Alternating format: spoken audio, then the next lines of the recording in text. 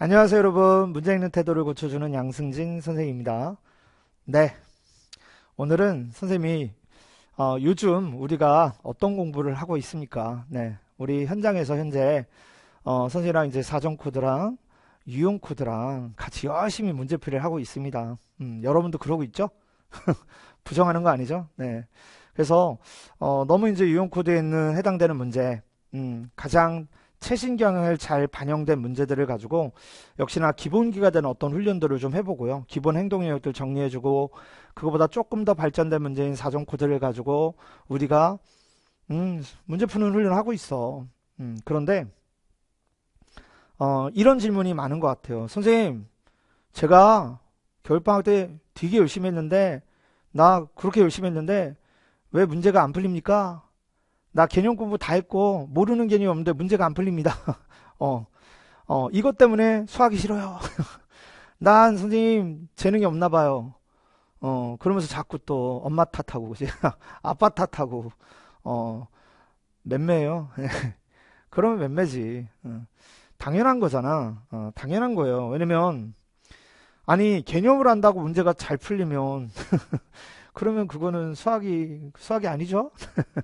왜냐면 평가에서 우리가 우리를 위해서 평가 항목에는 여러분들이 흔히 말하는 개념이라는 내용 영역만을 평가하는 게 아니라니까. 어.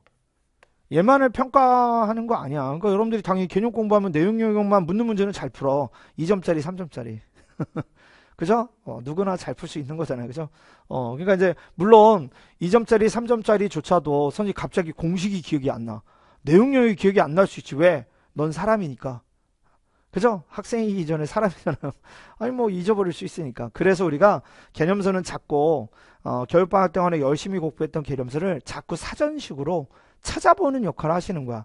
네가 안 봤던 새로운 책을 찾아서 또 찾고 이런 게 아니라, 그지? 네가 모르는 개념이 있어가지고 새로운 개념을 또 배워야 되는 게 아니에요. 그렇지 않습니다. 그죠? 그런 것들은 다, 다 뭐야? 득이 아닌 독이 될 수 있다니까? 기본 내용력만으로 수능 문제를 정복할 수 있는 거잖아요.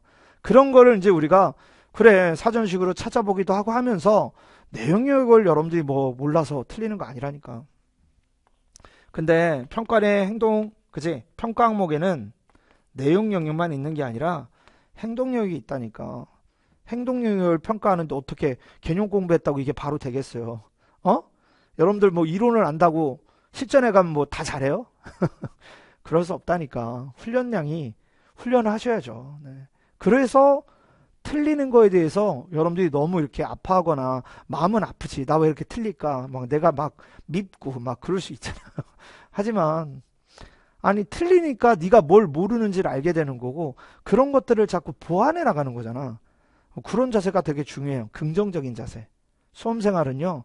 쉬운 생활이 아니야. 그러니까 여러분들이 그 속에서 자꾸 부정적인 생각보단 어 내가 오늘도 많이 틀렸네. 어, 오늘도 나 배우는 게 되게 많구나. 기쁘다. 어? 자꾸 그냥 긍정적으로 생각하셔야 돼. 그러면서 그러다 보면 네가 공부해야 되는 양은요. 네가 모르는 게 무한대 아니잖아. 야, 네가 모르는 게 당신이 모르는 게 무한계가 아니라는 거. 수능 수학이 유한한데?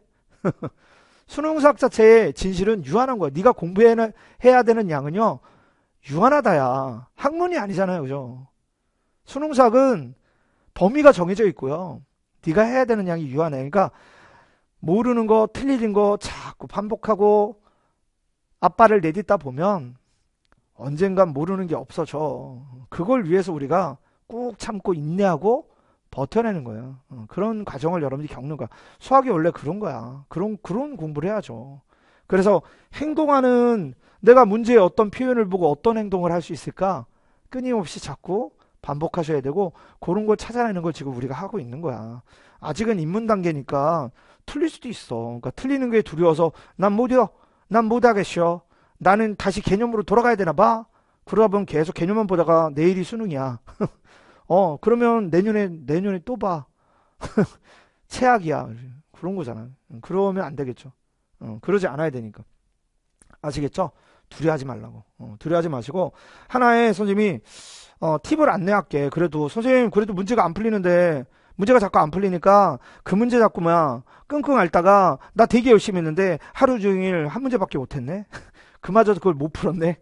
어, 이런 식의 시간 낭비를 하면 여러분은 수험생은 아닌 거야.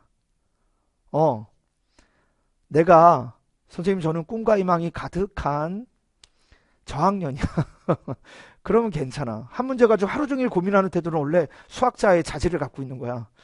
어, 근데 우리가 만약 수험생이라면, 여러분이 수험생이라면, 어, 뭐 수험을 뭐 10개년 계획 갖고 있는 거 아니죠? 어, 무조건 올해 안에 승부 볼 거잖아. 어, 그래서, 어, 그렇게 모르는 문제가 났고 좀 어려운 문제를 대할 때 어려운 문제는 그렇게 하는 거 아니야. 어, 아니야.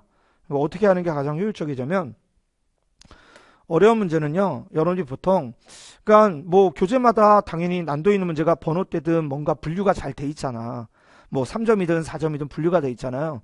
어 그래서 좀 어려운 문제일 것 같다라고 했을 때 여러분 보통 아침에 풀어. 아침 자습일 때 풀어. 야 푼데 안 풀려.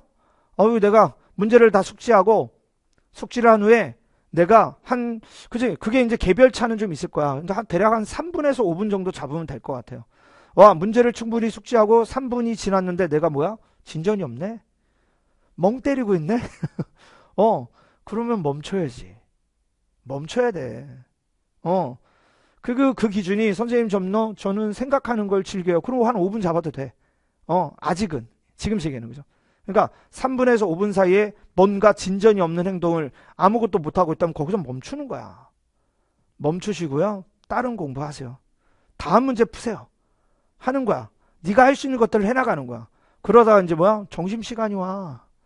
그럼 밥 먹으면서 뭐 하는 거야? 아까 그 문제 다시 뭐야? 되뇌이는 거야. 밥 먹으면서 화장실 가면서 뭐 하면서 움직이면서 어? 움직이면서 하는 거야. 그런 거 하는 거. 그런 시간을 여러분 자꾸 생각하셔야 되는 거야. 그 짜투리 시간을 활용하셔야 돼. 그러다 보면 어느 순간에 뭐야?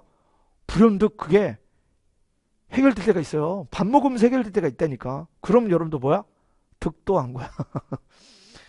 그런 경험이 몇 번 쌓이잖아. 여러분 수학 잘하게 됩니다. 어. 그니까, 아, 그러면 참 좋은데, 음, 그러기가 근데 쉽지는 않아. 득도하기가 쉽진 않아. 밥 먹을 땐 계속 밥만 먹게 되고 해결이 안 돼. 그러니까 이제 뭐야? 또 저녁 시간이 와.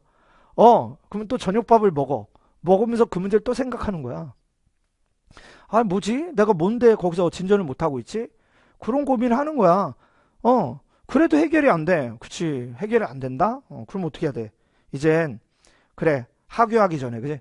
아, 나 집에 가기 전에 대략 뭐 20분, 30분 전에 다시 그 문제를 이제 펼치고 해설지나 강의를 들어보는 거야. 야, 내가 충분히 그렇게 고민한 걸 과연 강의나 해설지에선 어떻게 해결하는지. 다르다. 네가 점심 먹으면서 저녁 먹으면서 당신이 고민한 그 흔적이 드디어 학교하기 전에 보게 되잖아요. 와닿는 게 달라. 그러니까 여러분들이 얻어가는 게 크게 다가와요. 근데 시간은 생각보다 많이 들이지 않은 거거든. 공부는 그렇게 하는 겁니다. 아시겠죠? 어려운 문제에 대한 어떤 대비책은요, 요런 식으로 1일 1제, 1일 이제 뭐 이런 거 되게 좋은 거예요. 이런 식으로 공부하면 시간을 아낄 수가 있으니까 여러분들이 혹시라도 아 4점짜리가 좀 너무 까다로워서 못하겠다 그러면 그런 문제들은 이런 방식으로 시간을 좀 효율적으로 써봤으면 좋겠어요. 아시겠죠? 어유 아, 선생님이 이미 많은 선생님 제자들을 통해서 검증한 방법이야. 가장 가장 그지 어 시간을 효율적으로 쓸 수 있는 방법이니까 하는 거예요. 어, 그렇게 하는 거야. 여러분 약속하는 거야.